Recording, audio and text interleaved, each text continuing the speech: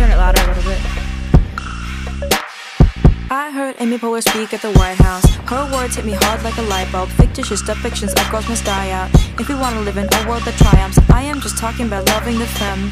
I ain't talking about nobody else. Toxic masculinity has to end.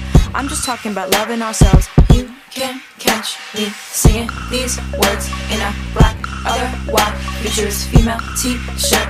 Like, hey, Gender constructions just get in the way. I've been playing drums since I was like eight. The future is female, that future is great.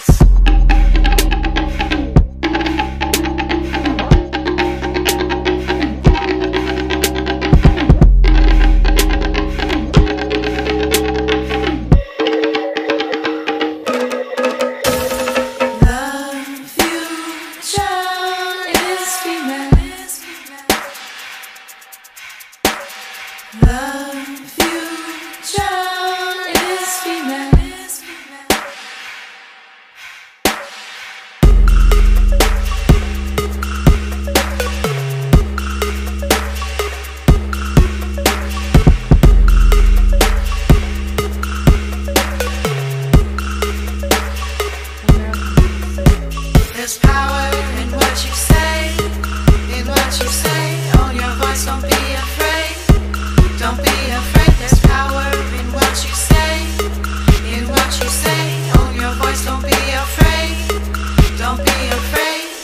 I want to live in a world that is collaborative, a world that is emotionally intelligent, a world in which we are linked and not ranked.